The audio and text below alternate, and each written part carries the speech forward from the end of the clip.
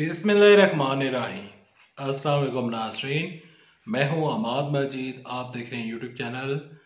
बड़ी खबर लीक हो गई, वो काम हो गया जो किसी ने सोचा ना था। अहम तरीन खबर लेकर आपकी खिदमत में हाजिर हूँ। सीनियर साफी अरून रशीद का, उनकी एक बड़ी खबर भी आपके साथ वीडियो में शेयर करूँगा। आज दिन भर की जो बड़ी खबरें हैं मरियम नवाज़ शरीफ के हवाले से अहम तरीन खबर आई है। मरियम नवाज़ शरीफ साहबा ने एक बड़ा हुक्म जारी किया है और उन्होंने एक बड़ा ऐलान किया है। वो ऐलान क्या है? कप्तान इमरान खान साहब ने एक नई चाल चली है। वो चाल क्या है? और जो सदर आरफ अलवी के बारे में इस टाइम जो खबर जेर गर्दश है और जो उन्होंने इनकार किया है, उस इनकार का अंजाम क्या होगा? क्या ये जो कुछ सदर आरफ अलवी साहब जो है वो करना चाह रहे हैं, क्या वो उस तरह मुमकिन हो पाएगा या नहीं? ये तमाम तो चीज़ें आगे चलकर आप साथ इस वीडियो में शेयर करूँगा, लेकिन इन खबरों की तरफ़ चलने से पहले आगे बढ़ने से पहले रिक्वेस्ट करूँगा कि इस वीडियो को लाइक कीजिएगा चैनल सब्सक्राइब कीजिएगा, साल एक नोटिफिकेशन बटन दबाइएगा ताकि जो आने वाले वीडियोस हैं आप उनको मिस ना कर सकें। सबसे पहले आपके साथ खबर शेयर करते हैं कि आज पाकिस्तान की पहली दफ़ा एक खातून ने, यानी कि मरियम वाशी साहबा ने वज़ीर अला पंजाब का मनसब संभाल लिया। मरियम वाशी साहबा जब वज़ीर पंजाब का मनसब संभाल रही थी तो दूसरी जानब तरीके इंसाफ के लोग एहतजाज कर रहे थे। और एहतजाज किया जा रहा था कि हम 45 फॉर्म 45 के मुताबिक हमारे पास मैंडेट है, जबकि मरियम वाशी साहब के पास मैंडेट नहीं है। तहरीक इंसाफ का ये मुतालबा था और तहरीक इंसाफ की ये ख्वाहिश थी कि वज़ीर अला पंजाब उनका बने।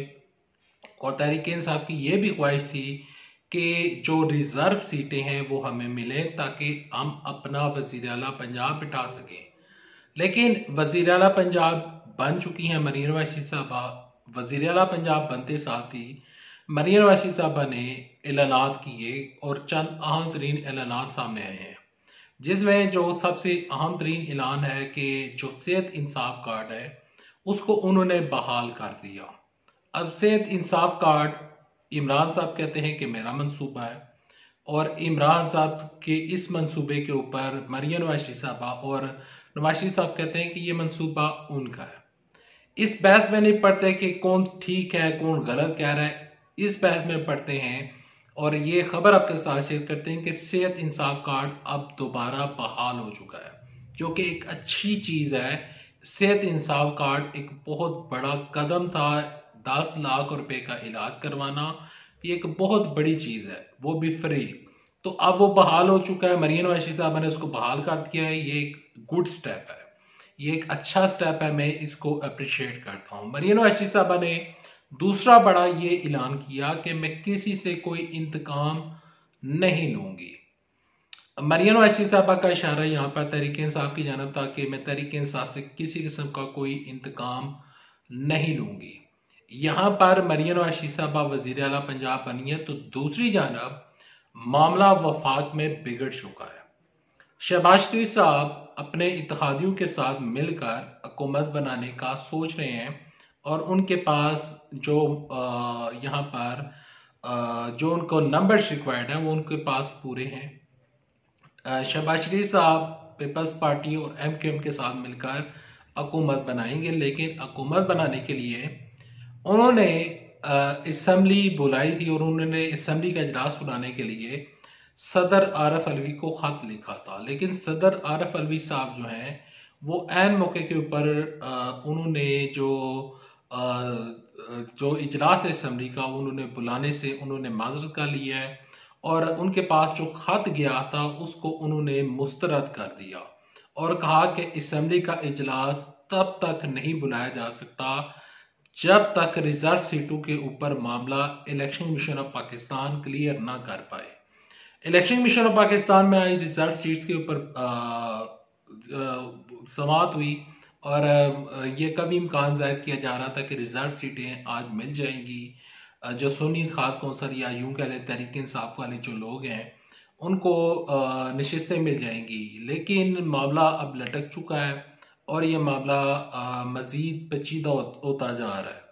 सीनियर साफी अरुण रशीद ने खबर दी थी कि इमरान खान साहब दो तय नहीं, बल्कि तीन चौथाई अक्सरियत से वो इलेक्शन जीतेंगे। तो मेरी नज़र में सीनियर साफी अरुण रशीद का ये दावा सच्चा साबित हुआ है, क्योंकि इमरान साहब ने बड़ी तादाद में उन्होंने यहाँ पर कामयाबी हासिल की है। और सीनियर साफी अरुण रशीद ने कहा था कि कप्तान इमरान साहब सरप्राइज़ करेंगे। देखें इलेक्शन में जो सबसे बड़ा सरप्राइज़ ये था कि इमरान साहब के पास इंतबी निशान बल्ला नहीं था, लेकिन इसके बावजूद इमरान साहब उनकी बड़ी सीटें निकले हैं जो वफाक है, जहाँ पर अब मामला जो पचीदा हो चुका है कि सदर जो पाकिस्तान है, सदर आरफ अलवी साहब, वो कह रहे हैं कि मैं इजलास नहीं बुलाऊँगा। तो वहाँ पर जो अगर एक पार्टी की, यानी कि आज़ाद उम्मीदवारों की वहाँ पर नंबर्स देखें तो वो सबसे ज़्यादा है। दूसरे नंबर के ऊपर आती है मुस्लिम लीग नून, और फिर पीपल्स पार्टी का नंबर आता है, और फिर कहीं दूर जाकर एम क्यू एम वाले हैं। अब ये जो इजलास बुलाने से सदर आरफ अलवी ने इनकार किया है तो इसके ऊपर जो इसार डार साहब हैं, उनकी ये खबर सामने आई है, और उन्होंने कहा है कि उनतीस तारीख को हम अपना एक इजलास बुला लेंगे। असम्बली में जो स्पीकर असम्बली है, अगर सदर कोई भी सदर है तो अगर वो इजलास नहीं बुलाता तो स्पीकर इस चीज़ की उसके पास पावर होती है कि वो एक इजलास बुला ले। अब इजलास होगा और यकम मार्च को जो नव साहब हैं, वो वज़ीर अजम पाकिस्तान बनते हुए हमें दिखाई देंगे। क्योंकि तहरीक साहब के पास नंबर्स पूरे नहीं है तो ये मुमकिन नहीं हो सकता कि तहरीक साहब का वज़ीर अजम बन पाए, यानी कि उमर यूब साहब। लेकिन दिलचस्प बात यह है कि इस सारे मामले में जो शख्स वज़ीर अजम बनने के लिए आया था, जिस शख्स को वज़ीर अजम बनने का कहा गया था और बुलाया गया था कि आप वज़ीर अजम बनेंगे, बुलाया ना मैंने था, ना किसी और ने बुलाया था, बल्कि उनकी अपनी ही पार्टी ने, यानी कि नो लीग के बंधु ने बुलाया था और मियाँ जावेद लतीफ साहब अब बार बार उनके बयान सामने आ रहे हैं कि नवाज़ शरीफ साहब को कहा गया था कि आप वज़ीर अजम बनेंगे लेकिन जब ये मामले ठीक हुए यानी कि जब ये मामला चला तो अब नवाज़ शरीफ साहब वज़ीर अजम नहीं बने और ना ही आ, उनको बनाया जा रहा है बल्कि शहबाज शरीफ साहब वज़ीर अजम होंगे। यहाँ पर मैं कल मुस्लिम लीग नून के एक रहनमा थे उनको मैं टीवी के ऊपर देख रहा था और उनका एक बयान मैं सुन रहा था तो उन्होंने कहा कि अगर हम इलेक्शन से पहले ये बता देते कि नवाज़ शरीफ साहब वज़ीर अजम नहीं होंगे तो हमें जितने वोट पड़े हैं, इतने भी ना पड़ते। यानी कि मुस्लिम लीग नून अपने ही बनने वाले वजी अजम जो शबाज शरीफ साहब हैं, उनके ऊपर अदम अतमाद का इजहार कर रहे हैं। अपने ही लोग, इवन के शाहिद खान बासी साहब, मियाँ जावेद लतीफ़ साहब, शेख रोहिल असगर साहब डॉक्टर आसफ किरमानी साहब और इसके अलावा मिफ्ता इस्माइल साहब चौधरी इंसार अली खान साहब, वो बनने वाले मुमकिन तौर पर जो वज़ीर अजम है, शहबाज शरीफ साहब, उनके ऊपर एतराज़ उठा रहे हैं। दूसरी जानब से मरियम वैशी साहबा ने अब पंजाब संभाल लिया है। ये एक बहुत बड़ा चैलेंज है मरियम वैशी साहबा के पास के लिए, क्योंकि अगर मरियम वैशी साहबा यहाँ पर इस चैलेंज को अगर एक्सेप्ट कर पाई, अगर वो जिस तरह उन्होंने दावे किए, जिस तरह उन्होंने कहा कि मैं रिलीफ दूँगी, मैं दिस एंड दैट करूँगी, अगर वो कर जाती हैं तो फिर उनकी जो यानी कि लोग उनको दुआएँ भी देंगे और लोग कहेंगे कि देखें इसने कहा और करके दिखाया। लेकिन चैलेंज बहुत बड़ा है और इवन के आज मरियम वैशी साहबा ने अपनी तकरीर में इस चीज़ का उन्होंने इजहार भी किया था।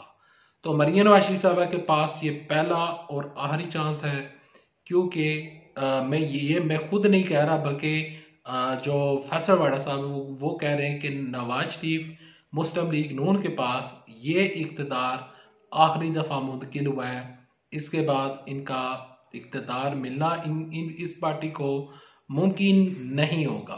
Thanks for watching this video next video तक लेते इजाज़त। अल्लाह सबका मेरा असर हो। इस वीडियो में आ, मैं बहुत आहिस्ता बोल रहा था मैं अभी इस ताल से लौटा हूँ और आते साथ ही मैं वीडियो बना रहा हूँ कुछ खबरें दिन की थी तो वो मैंने इस व्लॉग में शेयर की इंशाल्लाह आपके साथ खबरें शेयर करता रहूँगा दुआ कीजिएगा कि मेरी सेहत ठीक हो। अल्लाह हाफिज़ पाकिस्तान जिंदाबाद अफाज पाकिस्तान